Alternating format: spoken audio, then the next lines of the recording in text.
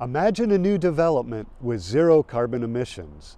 That's what they're trying to accomplish here at the Climate Innovation District in Leeds, England.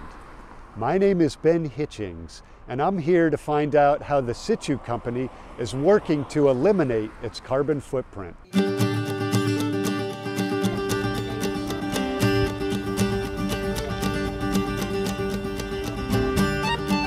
Located on a 22 acre brownfield site, the Climate Innovation District spans both sides of the River Aire.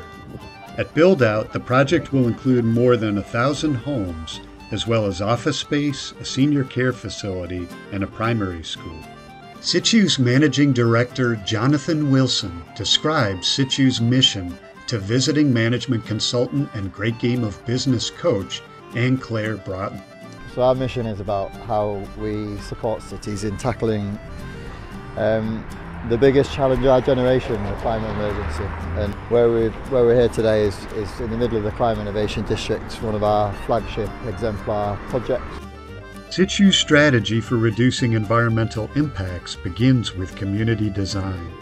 Six acres of urban gardens and connected green space are linked by a walkway that forms a central spine through the project. In addition, the district is just a 12 minute walk from the heart of downtown Leeds via a multi-use path along the river. Cars are parked underground to encourage human-powered travel.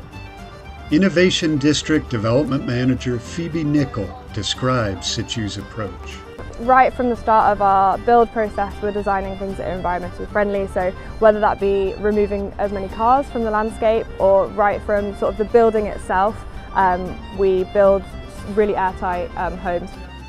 Houses are built with super insulated timber framed construction.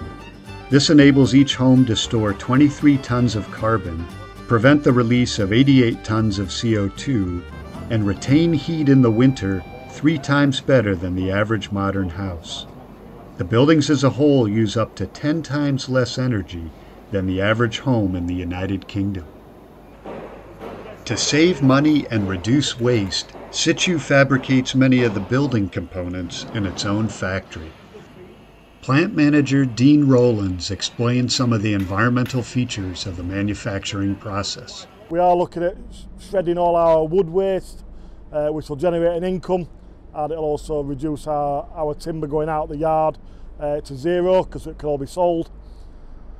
We've got rid of every, everything what runs on a, on a fuel system, so everything in the factory is electric. We run the factory for free off our solar panels on the roof, which are solar panel both sides, and we also feed next door uh, with their electricity at a cost to them.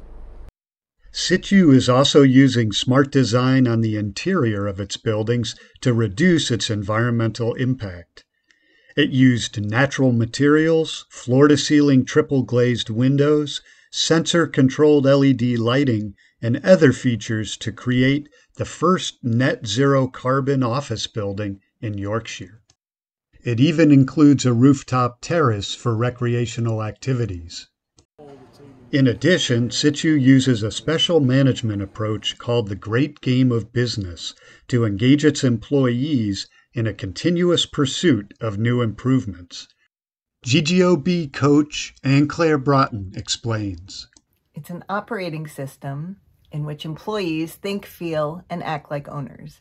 We give employees basic financial literacy education, and then we teach them how the business makes money and generates cash. And most importantly, we draw a line of sight between what individuals do every day and the numbers.